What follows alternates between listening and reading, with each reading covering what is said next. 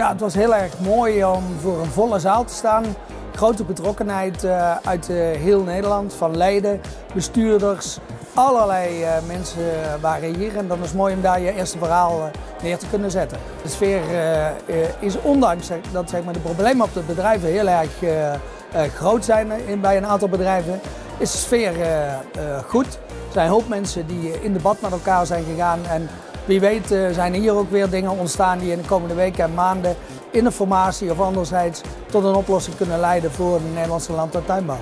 Hier moet echt op gehandeld worden, is onacceptabel. Waarom zouden we dit momentum niet kunnen benutten? En volgens mij moeten we dat benutten om ook met Sinkevicius en anderen en mevrouw van der Leyen het gesprek aan te gaan. En volgens mij moeten we eens een keertje stoppen met verdedigen en weer vooruit gaan spelen. Dat kan op deze manier alleen maar met miljarden Nederlands geld.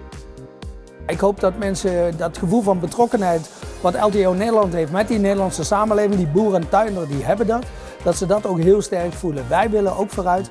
Wij willen als ondernemers ook zorgen dat Nederland duurzamer wordt, maar wel op een manier dat je ook zeg maar, geld kunt blijven verdienen.